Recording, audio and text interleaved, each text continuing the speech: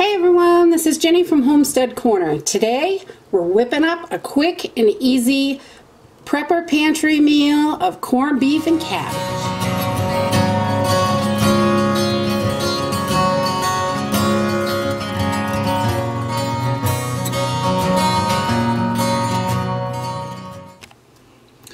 So this is a super simple, easy recipe that you can use from all pantry items. I'm going to use a little bit of butter today because I have some in the fridge, but you can use oil or whatever you like if you have ghee or canned butter, whatever it is you have. So, and then we're going to start with a little bit of dehydrated onions and some dehydrated carrots, some dehydrated cabbage, some corned beef, black pepper, some baked beans, and a delicious yummy brown bread. All right, to get started, this is really easy. We're just gonna use a pan with a couple cups of water, and we're gonna add in about a quarter cup of our freeze-dried onions.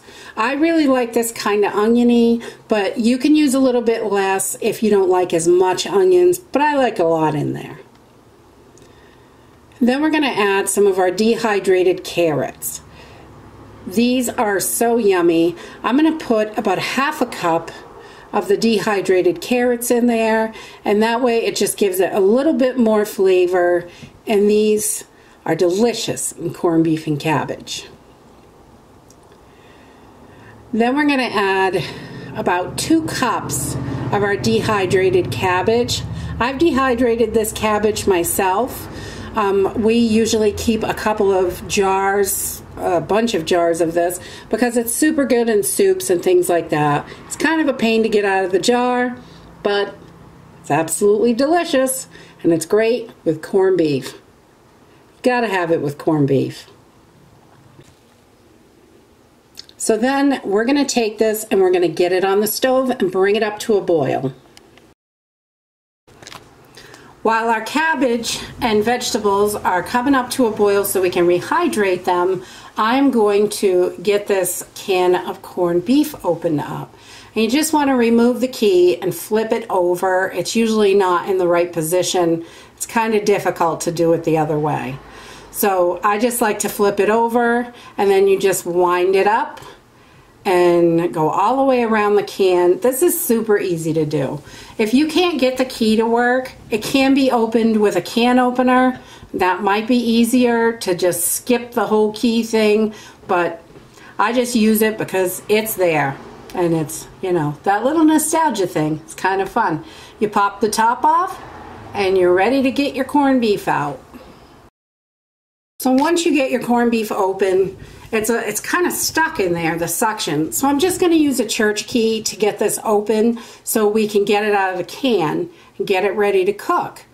So just poking a hole in it kind of releases that suction and then it falls right out. Simple and easy. So then we're gonna, just going to slice this up and get it ready. I like it in cubes for this meal. So I cut it into slices and then cube it up and then it's ready to toss right in the pan.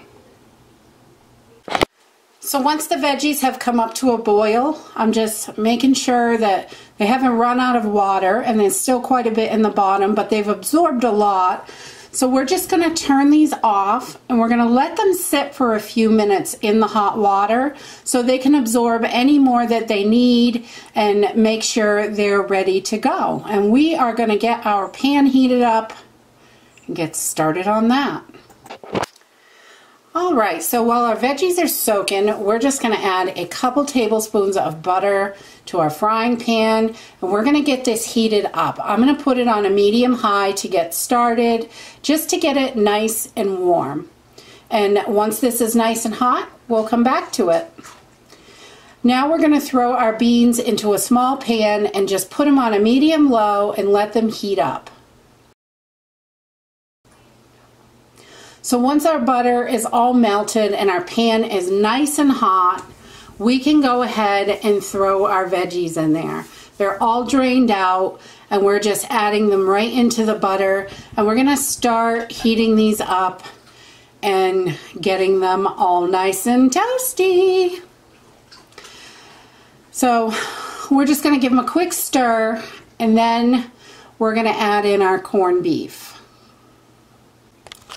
So once we have our corned beef all added in, we're going to give this another quick stir and just make sure that everything is all mixed together. And we're going to let this cook for a couple of minutes on its own um, just to start getting it all heated up. So after a couple minutes, we're going to give this another stir.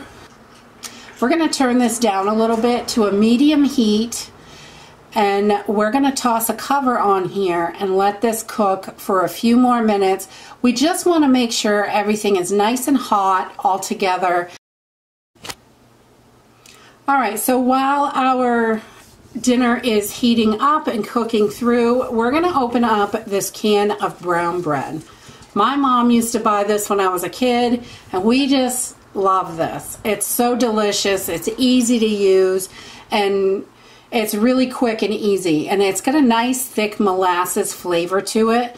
You can um, cook this a bunch of different ways. I like to slice it up and toss it in the toaster and put a little bit of butter on it. Mmm. So we're going to get started by opening the top and the bottom of the can. You got to open both ends or you're not going to be able to get your bread out. So we've opened the top and the bottom of the can and we want to remove it from just one end. You want to remove the lid and then we're going to use that other part to push the bread out of the can just so you don't smash the other end all up. It kind of makes it easier and then you can just wiggle it right out and remove that other lid and you're ready to go. You can wrap this up in aluminum foil and throw it in the oven and heat it all together at once or you can take this and slice it up. You can fry it with some butter. Or I like to just slice it up and throw it in the toaster and then put a nice pat of butter on top.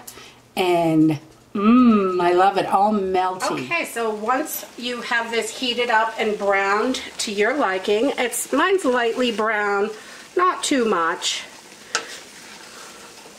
but it's nice and steamy hot. So I'm going to turn this off and just keep it hot while I finish up my bread. So that is it. This is quick and simple to throw together. You can do this in about 15 minutes total for everything and it is really easy to do and it's just delicious. The brown bread has, oh it's been around for a long time. When I was a kid my mom used to buy this and I just loved it with melty butter on top. Mmm. Mmm. Yummy, yummy. It's really great fried also. You can like fry it in butter, like an English muffin, grilled. It's super good. And this is so tasty. You can see there's plenty of corned beef, lots of cabbage, some carrots. You can add salt and pepper to this when you're cooking, but I find that the corned beef is just too salty, so I don't add any extra salt to it. And I put a little pepper on top while I'm eating. And that's it. If you like this video, give me a thumbs up. Subscribe. We'll see you in the next video. Bye.